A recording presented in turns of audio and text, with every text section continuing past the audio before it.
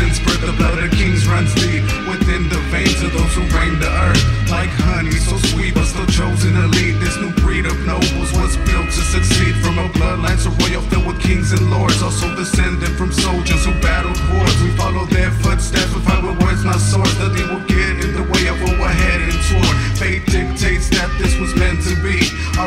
history goes back centuries, regarded highly within communities. Simply spreading, infecting every territory. So proud and majestic, Spanish blood mixed with Aztec multi pots of greatness. So complex yet simplistic, ruled with an iron fist, but remain altruistic. Abolishing cynics, this kingdom's for the gift